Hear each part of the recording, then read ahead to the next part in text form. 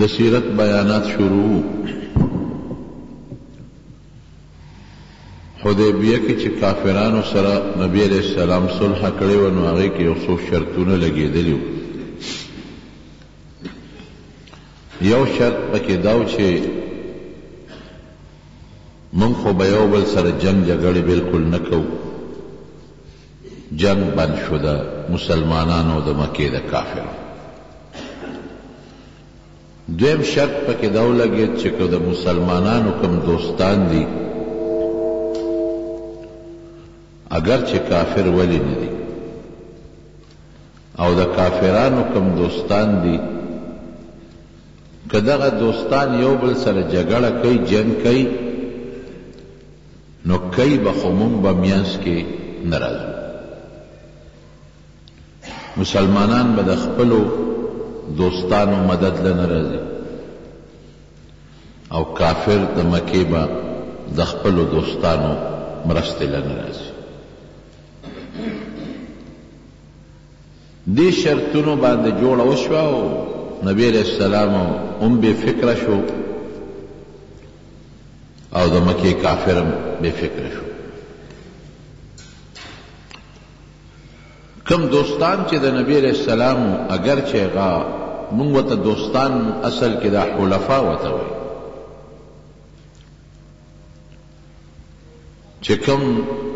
د نبي علیه السلام سره قسمونه کړي وو چې موږ به ستا مدد کوو ته به زموږ مدد کوې هغه بنو خزاعه هغې ته وایي او د کافرو چې کوم مرګري وو هغې ته بنو بکر وایي د دي دواړو یو بل سره دشمني د پخوا داسې چلیده د دې صلح نه پس چې دا شرطونه ولګېدل نو د کافرو د مرګرو د مسلمانانو په دې مرګرو حمله وکړه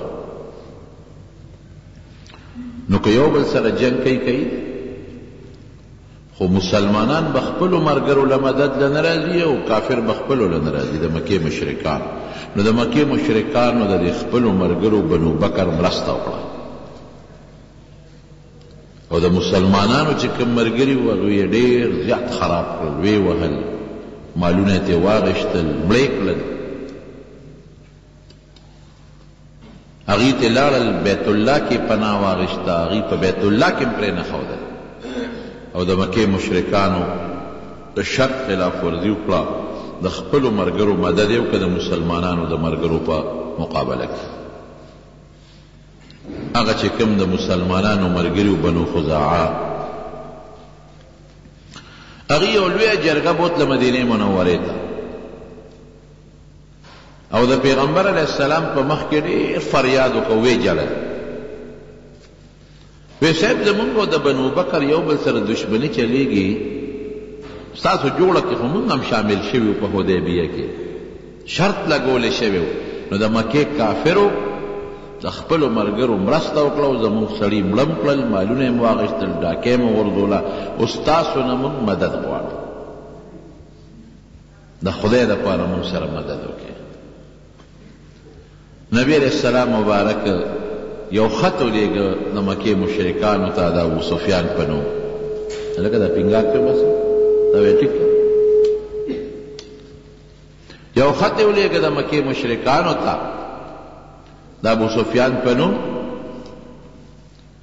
او هغې کې ده ولیکل چې ستاسو د حدیبیې د صلح د شرط مخالفت کړی دی تاسو ولې د خپلو ملګرو مرسته کوله او زموږ ملګري مې پرې ووهل او مړه کړل او مالونه مې ترې واخیستل ظلم کړی تاسو شرط هم مات کړی دی صلح هم ماته کړې ده اوس درې خبرې دي یوه خبره خو دا ده چې تاسو د دغه بنو بکر د مرستې نه لاس والئ چې موږ د خپلو ملګرو بنو خزاعه مرسته وکړو د بنو بکر نه بدل وایو په موږ لازم دي یا داسې وکړئ چې دا زموږ ملګري رضا کې دیت ولا ورکې پیسې ورکړي که داسې هم نه کوئ نو د حدیبیې د صلح د ختمولو اعلان وکړئ دا استازی چې سنګ لاړ مکې مکرمې ته هغوی په زړه کې خو یو جوش پروت و چې مونږ خو مونږ یو او د حضور پاک دا پیغام یې ورته واوراوه چې نبي علیه السلام دا پیغام استولی دی لیک دریو خبرو کې یوه خوښه کړه بیا د دې بنو بکر د مرستې نه خواشه چې مونږ د خپلو ملګرو مرسته وکړو بدل ترې ولوالو او کني دوی رضا کړه پیسې ورکړه دیت ورکړه او یا د حدیبیه صلح کې مې یو شرط مات کړی دی، د هغې د صلح ختمولو اعلان وکړئ چې بیا دښمني زړه په زړه شي.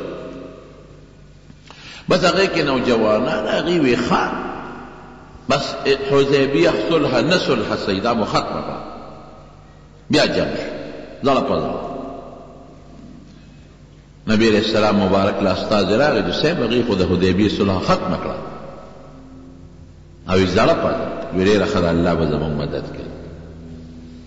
چې دا کار یې وکړه د مکې مشرکان پښېمانه شو مشران میټنګ یې وغوښت وي دا مو څه غلطي وکړه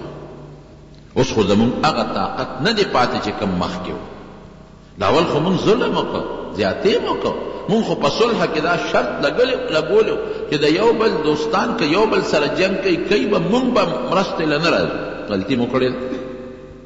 شرط هم مات کړی او بیا مو شرط ختم که صلح هم ختمه کړه اوس خو زمونږ هغه طاقت نه دی پاتې اوس خو مسلمانان ډېر شوي دي زمونږ د مکې نه ډېر لوی لوی خلک تللی دی خالد ابن ولید غوندې سړی تللی دی، عمرو ابن العاص غوندې سړی تللی دی، عثمان تللی دی، ابن ابي طلحه او غټ غټ خلک لاړل مسلمانان شوي دي، اوس خو موږ هغه طاقت نشته.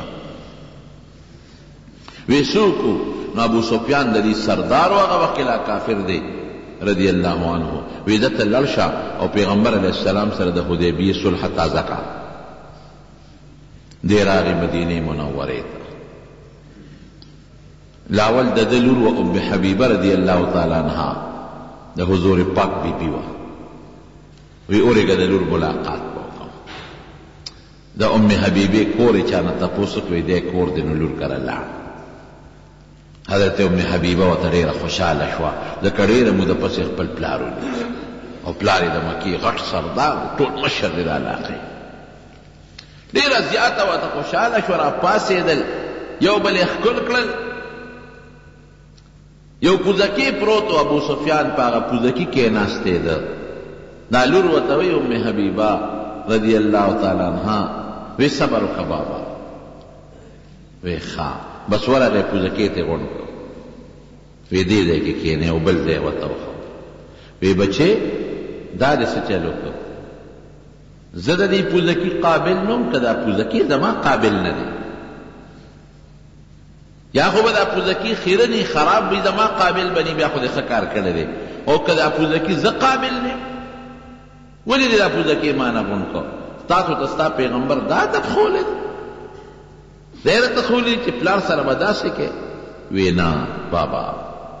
مونږ ته خپل پیغمبر د مور او پلار په شان کې ډیر ښه سلوک ښولی دی د مور به قدر کې د پلار به ډیر عزت کې احترام به کې وې بیا پوزکې دې رانه ولې غون کو وې دا د نبی کریم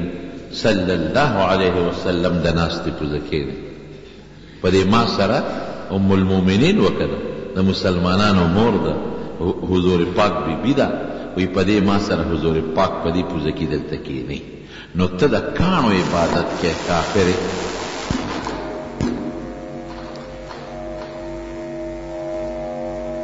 دا بره شی مړه وباسه هغه د نجروان په ولاندی سمه. بت پرست دی نو د بت پرست د کاڼو عبادت والا، مشرک، کافر قطعاً نه شم برداشت کولی چې د حضور پاک په پوزه کې او په مصلی یې ته کېنې. پرې مه خپه کېږه. احترام زما ستا په خپل دی او بابا ته دونه هوښیار یې، عقلمند یې، د مکې سردار یې، اوسه پورې ستا دماغ کار نه کوي چې تاسو د کاڼو عبادت کوئ؟ بتانو ته سجدې لګوې، کاڼو نه غوښتنه کوې، کاڼو کې سرېږي، تاله به خیر درکړي یا د شر نه به دې بچ کړي. بابا نصیحت درته کوم، د خدای په خاطر، ته خو ډېر لوی سړی یې، بابا ډېر هوښیار انسان یې او د هوښیارتوب د وجې د مکې سردار یې، مهرباني وکړه د بتانو عبادت پرېږده، د یو خدای عبادت وکړه، یو خدای ومنه. وې بچې ما نه چې جدا شوې نو خیر ته نۀ تلې شر ته تلې وې بابا ستا نه چې جدا شوې ما نو ما له خدای ډېر بې خیر را نصیب کړې دي دا خیر دې خدای ستا هم نصیب کړي راغی نبی کریم صلی الله علیه وسلم ته جمعات کې ودرېد وی د الله رسوله زه راغلی یم ستا استازی راغی او زمونږ نوجوانانو جذباتیان پوه نه شو نو هغوی د حدیبیې د صلح د ختمولو اعلان وکړ زه واپس راغلی یم دا صلح نوې کوم ما سره صلح نه وی غلطی مم نه شوی ده نبی علیه السلام نها وکړل نه نه وکړل اس یې مونل دی بار بار لګیا دی هغوی ورته غږ کوي چپ دی راغی حضرت ابوبکر صدیق لا ابوبکر ته د مسلمانانو مشر یې ته راشه زما سفارش وکړه نبی علیه السلام ته چې دا صلح نه وی کو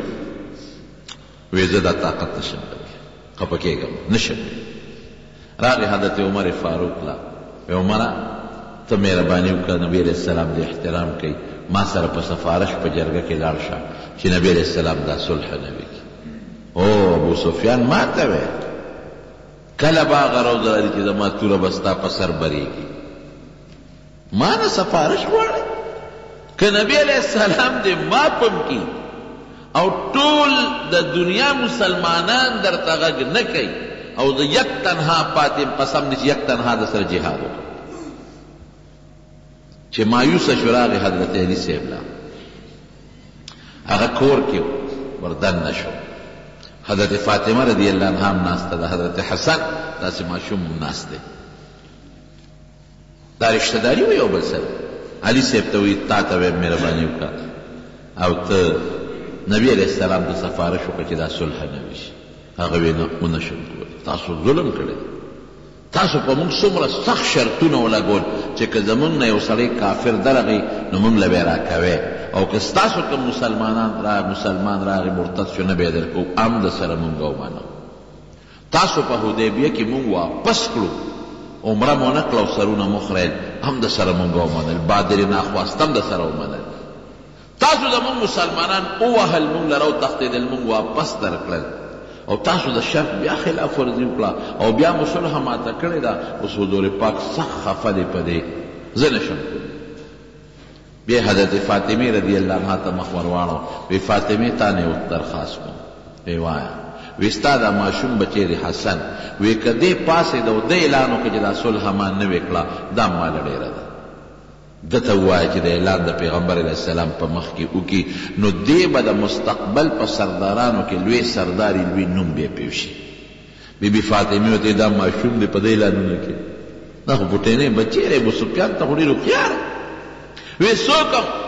علي صاحب ورته وې داسې وکړه چې لاړ شو د نبي علیه السلام په مخ کې اعلان وکړه چې ما د حدیبیې د صلح تجدید وکړ نوې مې کړه او ځه که هغه درته څه وایي او که نه وایي راغی جومات کې ودرېد او اعلان یې وکړ چې د حدیبیې کومه صلح مونږ ماته کړې ده زه یې تجدید کوم نوې کوم او واپس لاړ مکې مکرمې ته د مکې خلک ورته وې، څه دې وکړل؟ وې، دغه چل مې وکړ. وې، تا چې اعلان وکړ، حضور پاک ته ته ها یا نا کړي دي؟ وې، نه. هئ، هوی، قمقله، هوښیار سړی وې دوکه کړي. چې نبي علیه السلام ها نه دي کړي، نو ته اوس څه په تمه ګرځې چې صلح نوې ده؟ دا خو دې ښه په غم کې واچوو. مونږ ته څه پته لګي چې صلح نوې ده،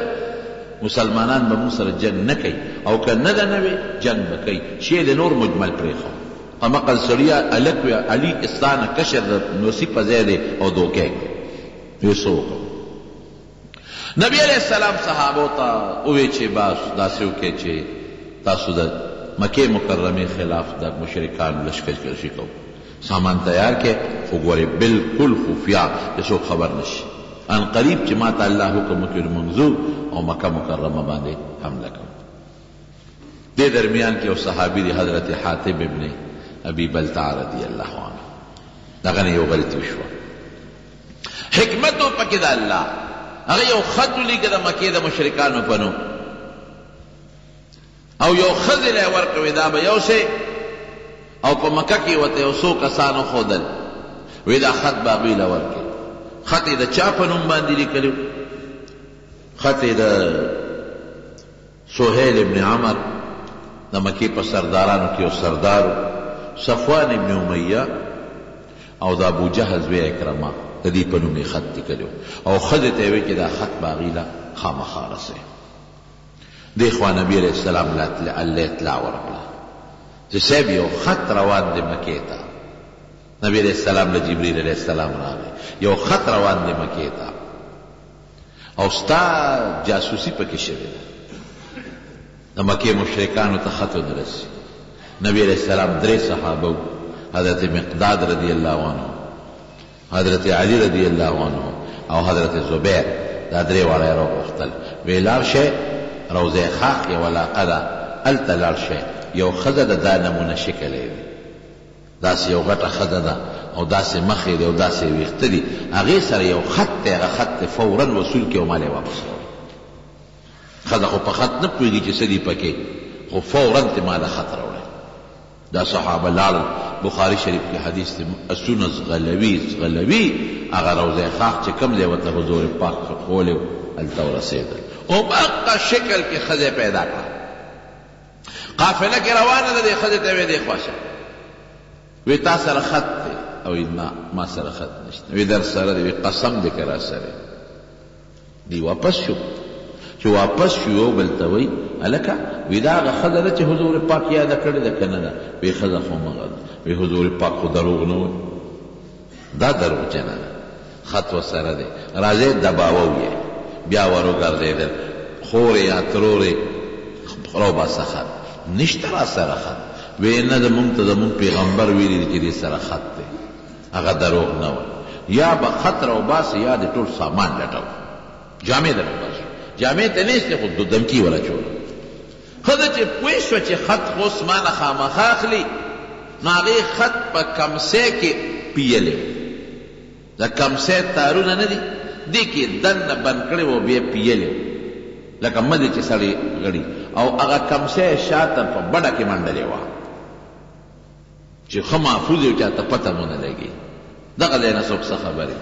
بس چی پوی شوه چی اوس خو دا صحابه مانه خط اخلی نو بړی ته یی لاس کړی کمڅی ته راوویسته او کمڅی اوسپړده او د هغی د ویښتو د میند نه خط راوویست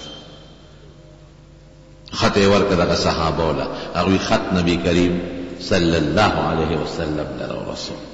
خط د چا د طرف نه و د حضرت حاطب ابن ابی بلتعه رضی الله عنه صحابی د طرف نه و فورا يې هغه راوړ دلته راشه کېنه حاتبه ما هذا دا څه دي ته ما نه وي چې خبره به پټه ساتې دا جاسوسي کړې ختمه کې ته لېږي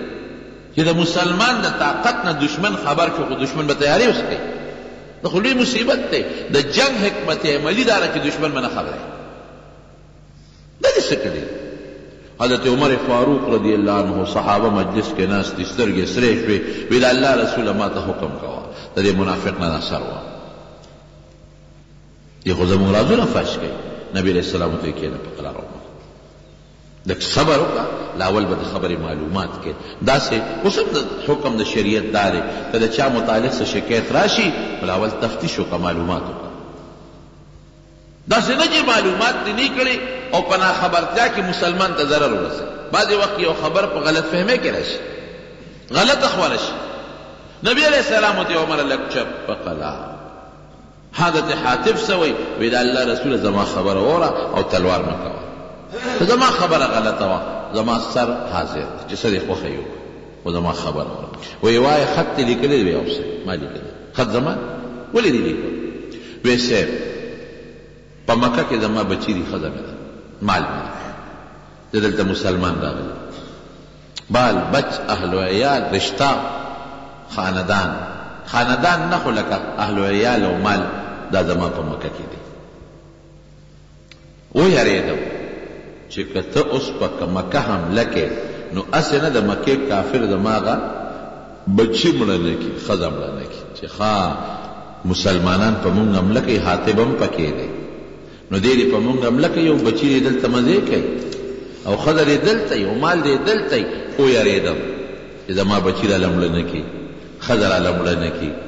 ما الله له لوټ نه کی. اوی صیب تا سره چی څومره صحابه دی نو د هغوی که د چا ښځه بچی په مکه کی دی نو محفوظ دی ځکه د هغوی قوم شته زما په مکه کی قوم نشته زه د باره راغلی سړی یم ستا د صحابه قوم شته هلته. قريش دي قوم يې دی نو که د چا ښځه بچي هلته وي نو د هغه قوم له وجې ښځه بچي محفوظ دي مال يې محفوظ دی قوم يې شته زما قوم نشته زه د باره راغلی يم په مکه کې اوسېږم نو زما يرېږم چې زما بچي راله مړه نه کړي ښځه مړه نه کړي ځکه مې دا خط ولېږه. او صيب ته خط وګوره خط کې مې ليکلي څه دي خط يې هم ناشنا خط ليکلی دی وې قسم مې دی د الله په ذات وي که دا خط ما په دې خيال ليکلي چې زه د اسلام نه مرتد يم. یا زما اسلام سره دشمنی ده یا می تا سره دشمنی ده یا اهل اسلام سره دشمنی ده په دغه ښځه بچو ویریدم نو دا ختمه بیګم مرتد نیم خارج د اسلام نه نیم اوس باقی ستا خوښه ده حضرت عمر فاروق بیا جذباتو کې د سترګې سرې دي وی دا الله رسوله پرېږې د ماته د سر دا سر ته وا دا غلطي ولې کړې ده نبی علیہ السلام سفر مې الله اکبر ای عمر تا ته پته نشته چې دا حاطب څوک دی؟ بیا عمر وایي زه سر وم. انه شهد بدرا دا بدري صحابي دی د بدر غزا کې شرکت کړی دی او د بدریینو متعلق الله اعلان کړی دی لعل الله اطلع الى اهل بدر وقال اعملوا ما شئتم قد غفرت لکم بدریینو متعلق الله اعلان کړی دی چی ای بدریینو چی څه مو خوښ یی کوی ما بخښلی یم هغوی چی څه کړی دی کوم کردار یی کړی دی په مخ د ځمکه به مور اوړی داسی ونه کی بی سرو سامانه کی وسله نشته او د کجورو په ډانګونو د زرو کافرو مقابله کړی ده. جامې یې شلیدلې وې، څپلۍ یې نه وې، خپې بلې خپې تللې دي، د مدینې نه مکې بدره پورې او د پلار مقابله یې کړې ده، د رور یې کړې ده، د د زوی یې کړې ده، د تربور یې کړې ده، داسې نه ده پلار زوی سره مقا مقابل زوی پلار سره، خوريی ماما سره او ماما خوريی سره، رور رور سره او تره ترواره سره، داسې مقابله دې خلکو کړې ده، د بدریینو متعلق رب العالمین فیصله کړې ده. بس اعملوا ما شئتم دا د دا مطلب نه دی چې که ګناه هم کوئ نو ستاسو خوښه ده کوئ، دا یو انعام دی د الله د طرف نه، یو اکرام دی د الله د طرف نه، او زه به در یو مثال درکړم. الله قرآن شریف کې فرمایي د بدریینو متعلق، رب العالمین فرمایي د بدریینو متعلق چې اولئک کتب فی قلوبهم الایمان. اولئک کتب فی قلوبهم ال الله ددی زړه کی ایمان اچولی دی محکم دی او بل ځای کی الله فرمایی لقد رضی الله عنه وردو عنه الله دی نه خوشاله دوی نه الله خوشاله زړه کی ایمان پروت ته داسې مثال دی لکه صفا سپینه تیګه کاڼی په کاڼی که هر څومره کرښې راکاږي داسې کاڼی چې داغ پې نه جوړېږي په دي باندي چه هر څه دوي کوي ايمان دونه مضبوط دي چه په دي د ګناه داغ نه لګي او که معمولي دوړه پرې پريوته په دي کاڼي نو دا به معمولي کپړې سره هم پاک شي اي ورونو دوه قسمه مريضان دي دوه قسمه يو هغه بيمار دي چه هغه نزله او زکام يې دی دننه ټيک دی اينه ټيک تا زړه ټيک دی پړپوس ټيک دی ګردې ټيک دي او څه ورته ویل کیږی وینه ټیک ده دننه چی څومره نظام دی څومره اندامونه دی ټول ټیک ټاک دی لږ غوندی نزله ورته ولګیده زکام ولګید د هغی نزلی زکام علاج څه دی دننه خو ټیک دی کنه لږه جوشانده وخوری بس خبره ختمه یو ډیسپرین ګولی واچی چی لږ غوندی دا پوزه نرمه شی او دا زکام دا نزله ختمه شی په اسانه به ختم شی پټی نه غوندی لږه نزله راله یا پوټی غوندی په سر دړ راغی لږ غوندی دړ راغی دننه دماغ ټیک دی رسولی نشته په دماغو کی غوږونه ټیک دی پوزه ټیک ده لږ سرخوږی دی پیاله چای مسکی نو سرخوږی ورسره ختم شي دقه مثال د صحابو دی دننه مضبوط دی ایمان مضبوط اولئک کتب فی قلوبهم الایمان روحاني طور د دي زړه ټيک پا صفا د دي پړپوس ټيک د دي ګردي ټيک د دوي ايمان کي چي دننه څه دي بلکل صفا پاک دي که معمولي غلطي راشي داسي مثال دي لکه معمولي سرخوږې او هغه په شنه چای هم ختميږي توري قهوې سره هم ختميږي يا معمولي زکام د جوشندي پوڼې سره هم ختميږي نو دي نه که معمولي غلطي کيږي کنه پوټې نۍ غوندي غلطي نو الله تعالی فرمايي چي د دوي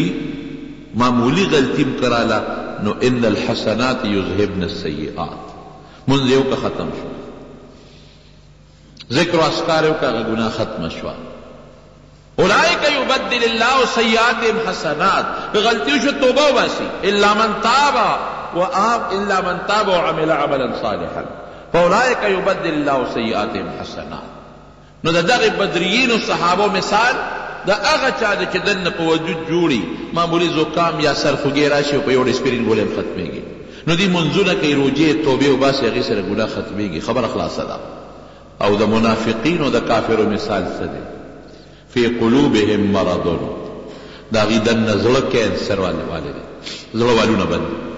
د هغی جګر اینسخه د کینسر لګیدلی دی د هغې پړکوس ښا د کینسر لګېدلی دی، د هغې ګردې خرابې دي کینسر لګېدلی دی، فی قلوبهم مرض فزادهم الله مرضوا او هغه کینسر زیاتېږي روځ پر ورځ، هغه پړکوس نور هم ښا کېږي، هغه ګردې نور هم ښا کېږي، هغه اینه نور هم ښا کېږي،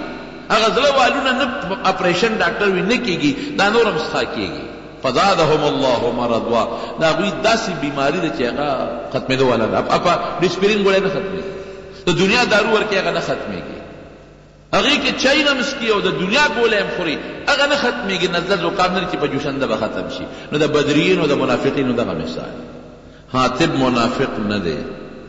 د هغه زړه پاک دی کتب فی قلوبهم الایمان زړه کی ایمان پروت دی لږ دی صبر کوه عمره خطی به ولی لیکړی دی وی صاحب په دی وجه می کړی دی خط وګوره خط یی ناشنا لیکلی دی د خط هغه الفاظ درته ویم خط کی لیکلی دی حضرت حاطب یا معاشر قریش اې د قريشو ډلې! فإن رسول الله صلی الله علیه وسلم قد جاءکم، پېغمبر علیه السلام در روان دی، بجیش یو لښکر دی ورسره، نبي علیه السلام در روان دی یو لښکر دی، کاللیل، د شپه توری، داسې لښکر دی چې دا ټوله ځمکه یې توره کړې ده. لښکر د لرې ځای نه دا سرونه تک توري میدان تک تور ښيي، لکه شپه چې راشي او ټوله خوره شي، دقه رنګ یې په دې ځمکه کې دا لښکر خور دی، ډېر لوی لښکر دی، یسیر کالسیل او داسې روان دی لکه د سیلاب په شان بېږي. په تیزی در روان دی او سیلاب چی راشی خو دنیا غرقوی پریدی نه مو غرقوی وو فوالله لښکر وسره ښه مضبوط دی لکه سیلاب په شان ډیر زیات خو که لښکر وسره نی دی پیغمبر سره فوالله لو جاکم وحده لنصر الله وانجز له وعده که دی یوازی هم درشی الله به مدد کوی که دی یوازی هم درشی الله به ولا وعده پوره کوی الله وسره وعده کړی ده او الله به مدد کوی. دا خو د دنیا لښکر دی وسره فانظرو لانفسکم والسلام اوس سوچ کوی چی سم خوښی سلام علیکم خط یې داسی لیکلی دی چی یو خو یې په کافرو روب ورچولی دی پیغمبر علیه السلام چی نبی علیه السلام سره ډیر لوی لښکر دی او درنه وه او بل طرف ته دا مو ته ویلي دي که دی یوازې به الله به مدد کوي بدر کې مدد کړی دی نو روب هم د مسلمانانو قایم کړی دی یو طرف ته او بل خو کافرو ته دا خبره هم ښکاره کړې ده چې ګورې ما ستاسو ته راز فاش کړ د نبي علیه السلام ظاهر کې جاسوسي غوندې ده ظاهر کې چې زما د بچو ګورې حفاظت وکړي زما د مال حفاظت وکړي د ستاسو مرګري په ظاهر کې دا شو دا ښيي او په حقيقت کې يې د پيغمبر عليه السلام او د مسلمانانو روح په هغې اچولی دی. وې د الله رسوله خط ته مې وګوره ما خو روح په ستا ور اچولی دی خو ظاهر مې داسې خط ولېږه چې زما بچي او زما مال او ښځه بچ شي. اوي ستا خدای کاروکړ که نه زما کارم وشو ستام وشو زما دا وشو چې ښځه به هغوي ته ووي چې هاتف خط راکړی ده هغوي به په ما ګومان کوي چې دا زمونږ ملګری ده زما بچي محفوظ او ستا کارم وشو خط دله واپس راغی ځه هغوي له خبر نه شو حضرت عمر بيا جوش کړ صاحب ما ته پريده نبي عليه السلام وي باس قد صدقكم تاسو ته رښتیا ویلي دي ولا تقولوا له الا خیرا دته بدن نه پس ګورې سره سو پیغور نه کې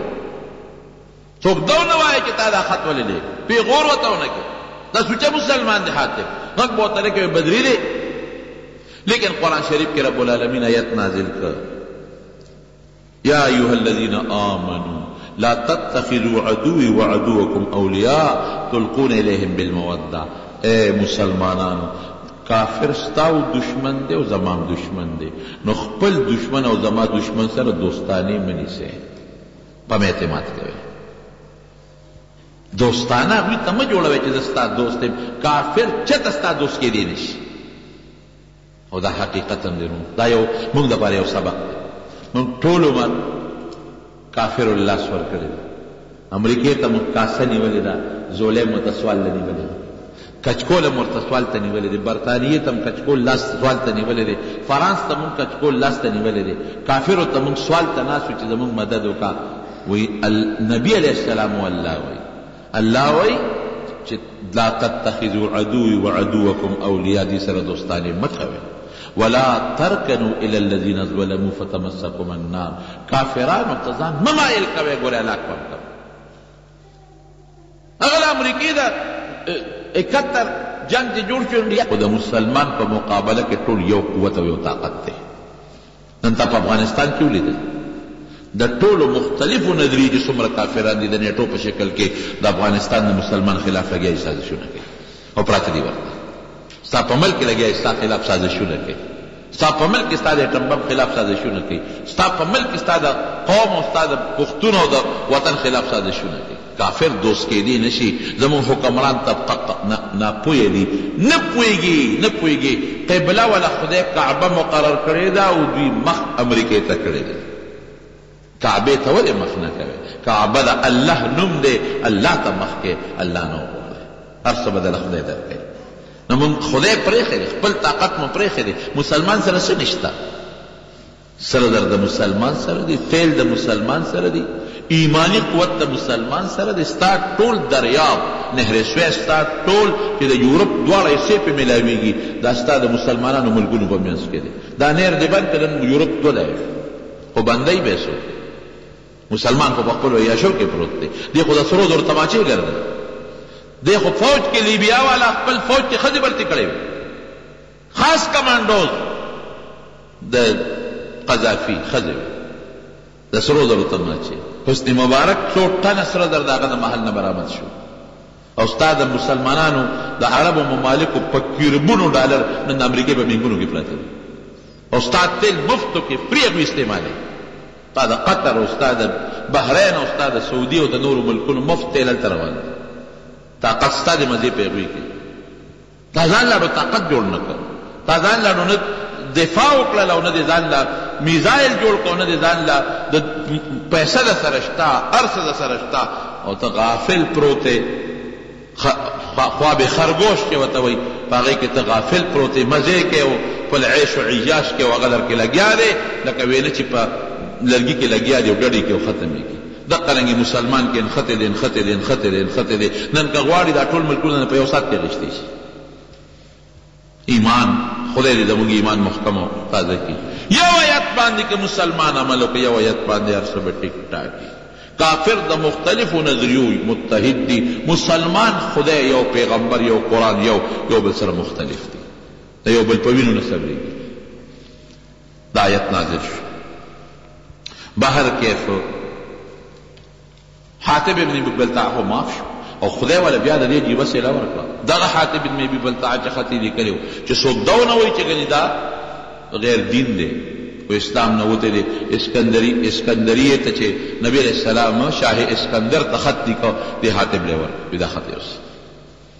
چې پته ولګي چې دا ګل رازدار دی بس یو غلطي وشوه خبره ختمه لږ اوچیړل شو الله یت نازل کړ قهوه چای پرې وڅکل شو سر دردې ختم شو جوشانده پرې وڅکل شو زکام ختم نبی علیه السلام مبارک په لسم هجره کې په اتمه هجره کې په لسم رمضان د مدینې نه ووت صحابه سره لس زره کسان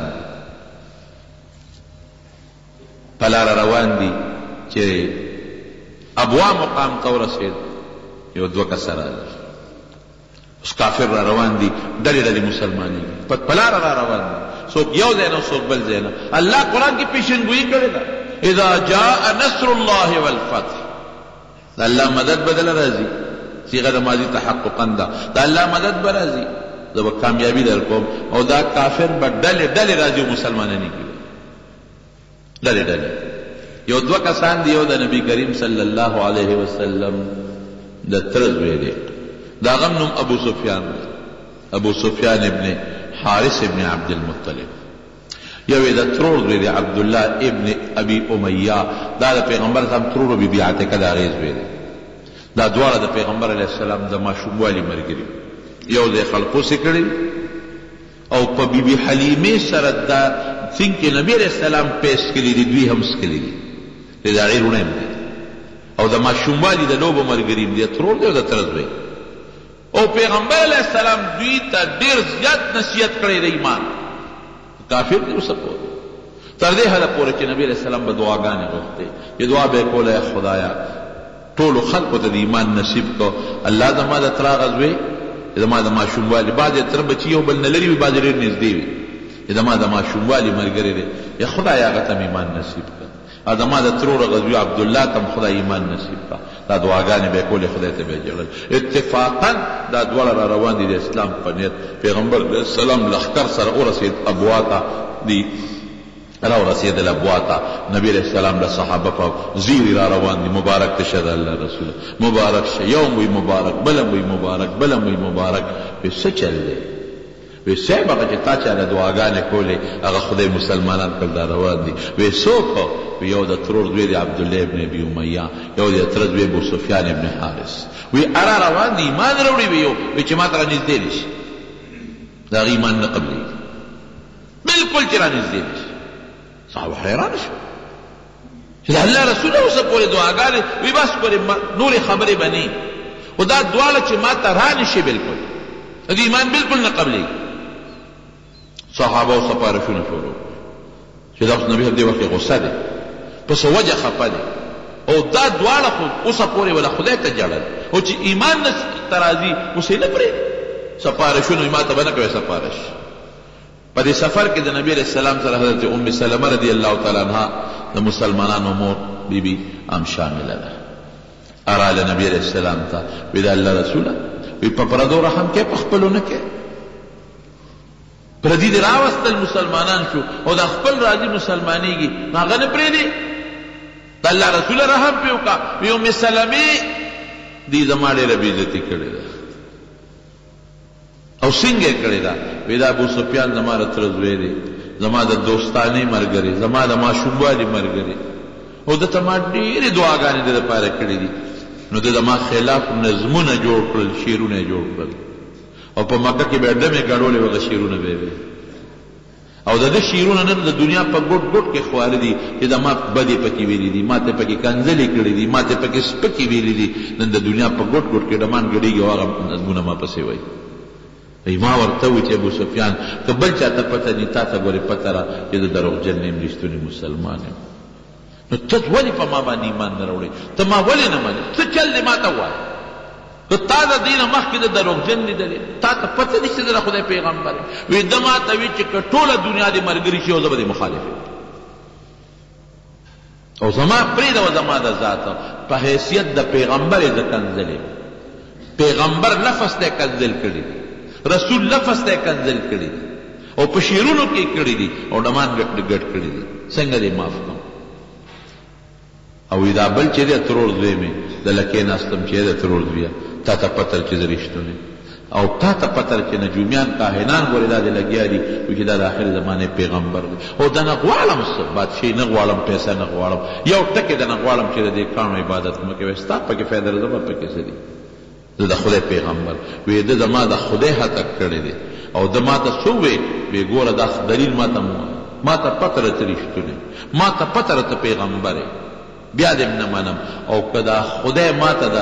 اسمان نه خط راولیږي کنه او ماته ښکاري چې دا خط د هغه ځای نه راروان دې او زما په نوم یې لیکلې دې او ماته وایي چې په دې پیغمبر ایمان راوړه بیا هم نه راوړم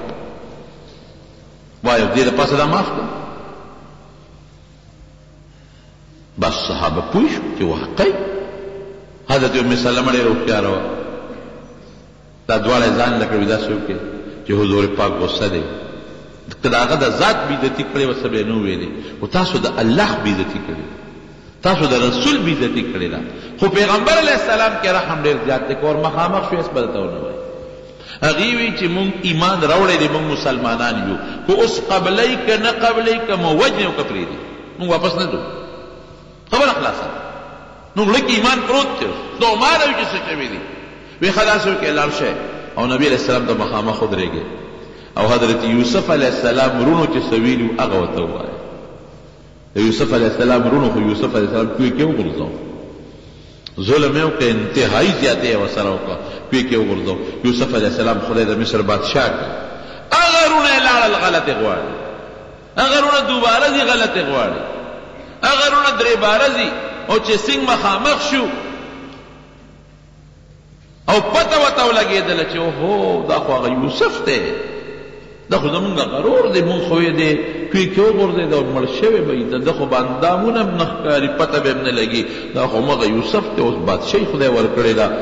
هر څه ښکاره شو چې دا مونږ څه ظلم کړی دی، هغه ته بادشاهي ده، نو وروڼو ورته څه وې؟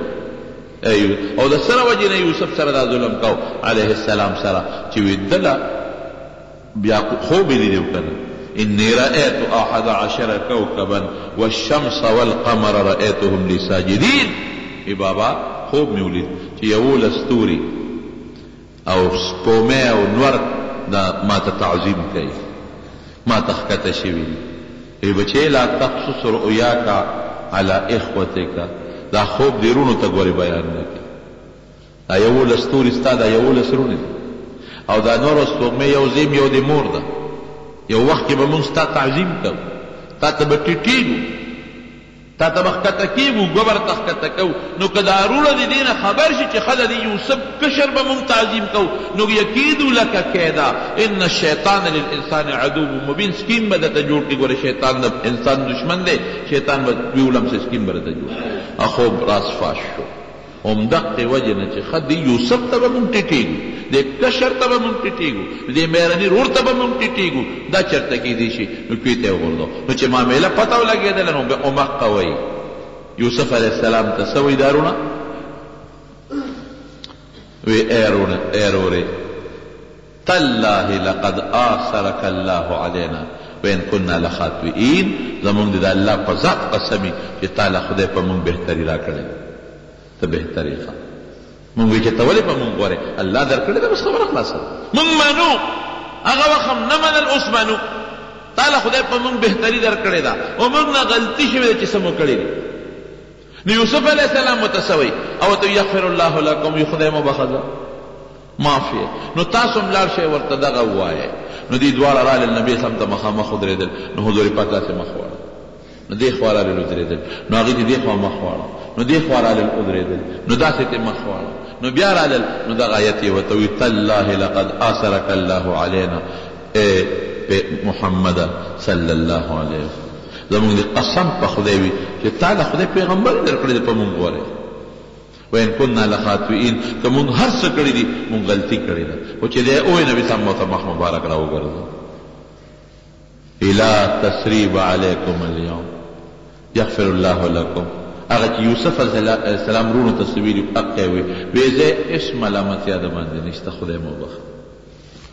معاش په لاره را روان دي ابو سفیان چې د مکې دا کم سردار دی ها حضرت عباس رضی الله عنه او داغه ټول خاندان دا نبی علیہ السلام له مخې راغلی دا په مکه کې پټ مسلمانانو نبی علیہ السلام د هجرت اراده کړې و خو نبی سم ته مکه وه هجرت ماته به د مکې د خلکو جاسوسي کوي، چې ورته پته ولګېده چې نبي عليه السلام خو راروان دی، نو دې سره د خپل خاندان پېغمبر عليه السلام له مخې له راغی او حضور پاک ته هرکلی وويل. چې تلل په لاره روان دي، ابو سفيان چې کوم د مکې سردار دی او بديل ابن ورقاء دا د مکې په سردارانو کې بل سردار دی، او یو دی حکیم دا بل سردار دی په فکر له شوی و چې مسلمانان را روان دی او په مقام لکه دی په خپل را وتل چې مونږ ګورو چې دا خبره پراپګاندا ده او کرشتون کې ده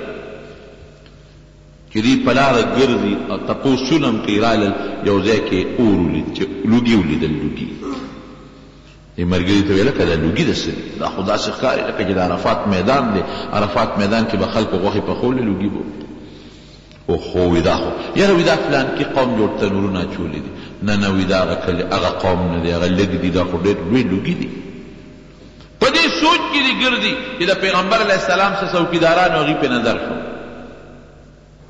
چې هغوی يې وليدل وي څه پوزيشن دی ای ابو سفیان پته به دې لګي ولې مسلمانان را روان دي لښکر دقه دی رانږدې اوس به څه کېږي بس په دې سوچ کې هغوی ونیول، ګرفتار یې کړل، حضرت عباس رضی الله عنه د پیغمبر علیه السلام په قچره باندې سور دی، هغه ولیدل، وی عباسه څه به کوو، وی راځئ ما سره نبی علیه السلام لم بوځم، بل علاج نشته، ابوسفیان اوس دې وخت کې مقابله نه شی کولی، وی بس مونږ ته هم پته ده، مونږ نبی علیه السلام له بوځه، دی ورپسې دی، عباس څه مخکې رضی الله عنه دی کې حضرت عمر ولیدل، چي ويې ليدله لکه داسي توري څوک دي وې دا ابوسفيان دی او ښه بس توري ته يې ګوتي کړې وې که نبي عليه السلام له ورسيدل خو بيا بچ دي اوس خدای دي کړي چي د هغه نه مخکي ما توري له راشي خو چي ابوسفيان وليد چي عمر دی بس اسونه يې وځغلول هغه ورپسې نښتی دی منډي دي منډي دي منډي دي عباس رضي الله عنه ته وي شابه ګوره راتښتي راپسې. داسې وخت کې نبي علیه السلام له ورسېدل چې حضرت عمر ورپسې بس عنقریب ورورسېد ورورسېدی د الله رسوله د خدای دا درې دشمنان دي او ماته یې پرېږده ماته یې پرېږده ګورې دوی موږ تباه کړي احد کې په خندق کې او فلانکي وخت کې او فلانکي وخت کې وی عمر په قلار کېنه بس وی زه هم په دقه پوه وم چې که تاله راورسېدي بچ دي ډېر مې اس وپسې راوځغلو چې زما د تورې لاندې به چې خو بچ شو رانه نبی اسلام ابوسفیان ته اسلام ور پیش کړ وی ابوسفیانه ته خو ډیر هوښیار یی اوسه پوری ستا سوچ نه دی راغلی ته په دی نه پوهیږی چی دا بوتان او دا کاڼی تاسو په خپل لاس جوړوی سجدی ورته کوی وی د الله رسوله دا خبره دی ټیک ده بلکل موږ په دی کی په غلطه یو نو وی زه درته اسلام پیش کوم مسلمان شه. یاره وی ستا پیغمبرۍ کې مې لا شک دی نه شم مسلمانیدی امن راکه وی امن مې درکړ هیڅ ته نه وی حالانکه نو که بل څوک وی کنه وی به چې بوجۍ کې واچوی او چې سم خوښ یې ورسره وکړی ولی احد کې اویا صحابه کرام د دوی د لاسه شهیدان دي او دی په مخ مخ په مخ نبی علیه السلام ته ابو سفیان رضی الله عنه ودرید مخ په مخ او پیغور نبی علیه السلام ورکړی پیغور سخت پيغورونه يې وله ورکړل او وي ستاسو د مړو نه پوزې پرې کړې دي غوږونه وي دا اډر ما نه دی کړی خپل فوج ته خو ګورې خپم پرې نه يم او چه هلته کې اعلان وکړ اعلو هبل هبل د دوی بوتو هبل زنده باد دا پيغمبر اسلام په مخ کې پي پيغورونه ورکړي دي او د ده بي بي حضرت هندې رضي الله تعالی عنها په احد کې د حضور پاک د تره سره څه څه نه دي کړي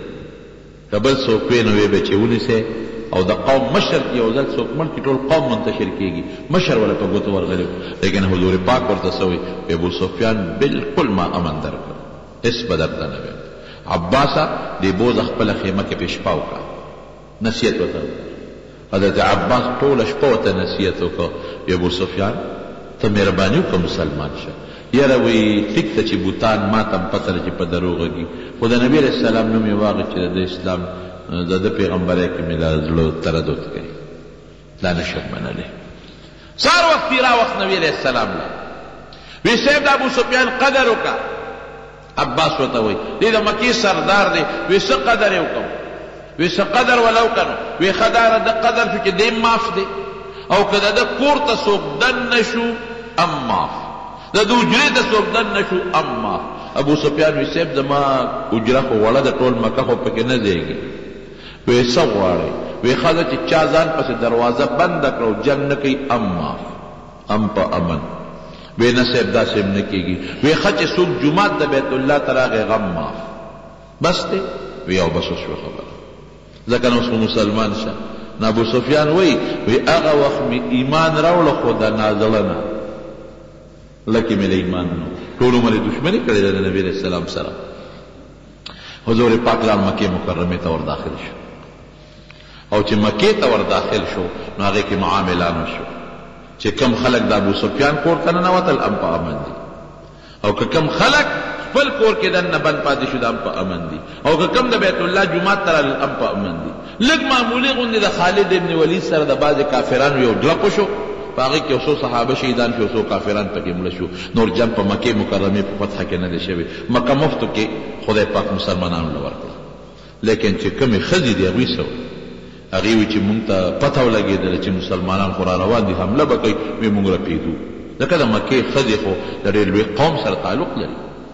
مونږ یریدو چې نن به مسلمانان راځي مونږ سره به څه کوي دا خو زمونږ دشمن دی هغې خو د مسلمانانو د اخلاقو نه نو خبر چې د هغوی څه اخلاق دي نن به راځي زمونږ عزت به لوټ شي. او زمونږ د لوڼو عزت به زمونږ په مخ کې لوټ کېږي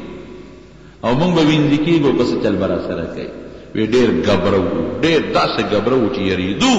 ځکه د عزت خلک خامخا په خپله بې عزتۍ خپه کېږي او خو د عزت خلک وو، که کافر هم وو، خو د لوی خاندان خلک وو. وي مونږ دروازې بندې کړې وې چې په دېوالونو مسلمانان راوړي او چې نن یې څه خوښوي مونږ سره به کوي. هیڅ پته ونه لګېده، خاموشه خاموشي ده، دروازې بندې دي. وایي موږ بچو ته وایي چې بچو بار وځئ وګورئ چې دا پراپیګنډه ده او که دا مسلمانان یقینا راغلي دي، ځکه نه شتور شته، نه جنګ شته، نه چغې شته، نه زموږ کور باندې څوک راغلل، نه چا ډاکه وغورځوله، نه څوک داخل شو.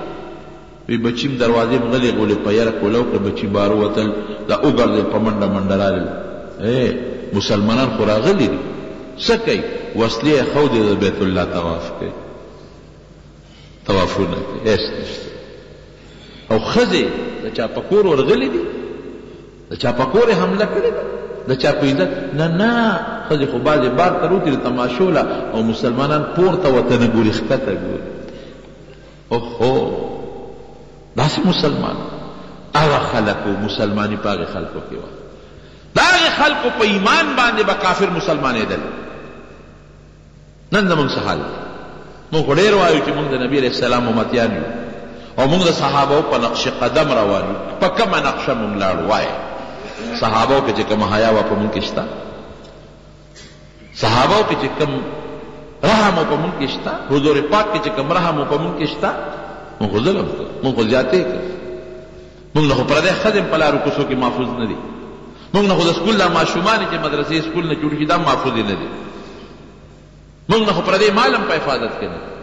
موږ نه خو پردی عزت هم په حفاظت کې نشته، موږ خو پردی پلار ته هم پلار نه وایو، دښمن ورته وایو، موږ خو ګاونډي ته هم ګاونډي ونه ویل، موږ خو پردي بچي ته د زوی په نظر ونه کتل. دا دا خو مسلماني نه ده، د مسلمانۍ طریقه خو دا نه ده، مسلماني خو دې ته وایي چې ته د خپل بچي ته څنګه بچی وې، پردي ته به همداسې بچی وې او خپل مال ته په کوم نظر ګورې، پردي مال ته به هم په هغه نظر ګورې. او د خپل پلار او د خپل تر چې کوم قدر کوي د پردي پلار او د پردي تر به مغسه قدر کوي او چې څنګه ساده نه د خوخه چې زما د خور زما د لور خدای دې څوک حیا والی نو تبم دا نه خوخه چې د بل مسلمان د لور او د خور او د مور حیا دې والی دا خو مسلمانې نه هغه مسلمان ته کافر او قتل نو اسلام ته داخله دل نن زما د مسلمان اسلام ته خلک ګوري واپس تر روان د صحابو نقشه دغې ته وایي دا چې کومه نقشه وه لګیا دي په بیت الله کې خپل طوافونه کوي لګیا دي خپل عمرې کوي وسیل ته خود دي ولی ځکه حضور پاک اعلان کړی د دشمن په قوم هغه خلق ورته نن ګیر دي چې په وحد کې په لوبې کړې دي په مسلمانانو هغه خلق ورته نن ګیر دي چې حضرت حمزه رضی الله عنه سینې چاپ کړی او د هغه شونډې یې پرې کړې دي او پوزه یې پرې کړې ده او غوږونه یې پرې کړي دي، نن لا لاس لاندې دي، لیکن حضور پاک عام اعلان وکړ چې دا معاف دي او سر یې څه شو هغه ټول خدای مسلمانان کړل، هغه د مکې ښځې ټولې مسلمانانې شوې، د پیغمبر مقصد خو دا نه و چې بل مسلمان ته ضرر ورسوي. یا یو انسان ته ضرر ورسوم، د هغه مقصد خو دا نه و چې پردي مالونه لوټ کړم او غنیمتونه حاصل کړم، د هغه مقصد خو دا نه و چې پردۍ ښځې وینځې کړم یا پردي ماشومان غلامان کړم، که دا مقصد و خو دا ټول غلامان کېدای وو، ښځه خو یې په یخۍ ده، دښمن وله په ګوتو ورکړی و، لیکن ټول یې معاف کړل. اثر یې څه شو؟ د مکې ټولې ښځې په بیړه مسلمانانې شوې. د مکې ټول ماشومان، بوډاګان، ځوانان مسلمانان شو. د مکې ټول غلامان مسلمانان شو. همدغه خلک نبي علیه السلام سره دې نه پس ووتل د حنین جهاد له ځي. همدقه د مکې کافران ووتل او سه به د طائف غزا له وسله ځي او د اوطاس غزا له ځي. مقصد د پیغمبر علیه السلام هم دقه و چې خدای دا خلک مسلمانان کړي او د جهاد مقصد څه یې نو د جهاد مقصد ظلم نه که حضور پاک جهاد کړی دی بعضې پکې مړه دي نو چې د سړي وجود بیمار شي او زخمي شي او کینسر ولګېږي نو هغه ګوته به پرې کوې که به نه پرې کوې یو ګوتې ته کینسر ولګېد دا به خامخا پرې کوې یو لاس ته کینسر ولګېد دا به پرې کوې که دې پرې نه کړ نور وجود خرابوې. نو دا بعضې بعضې به پکې جهاد کې مري دا بعضې کافر به خامخا مرداريږي د دې مثال د کينسر دی که دا نه شي د مسلمان د اسلام چې کوم وجود دی هغې ته چې تاوان رسيږي خامخا به راځي بهر کې مکه مکرمه فتح شوه ډېر په اسانه په رمضان کې په اتمه هجرۍ کې او دې نه پس د مکې مکرمې د فتح لا څه بعضې حالات دي ان شاء الله چې آينده جمعه کې درته هغې بيان کوم.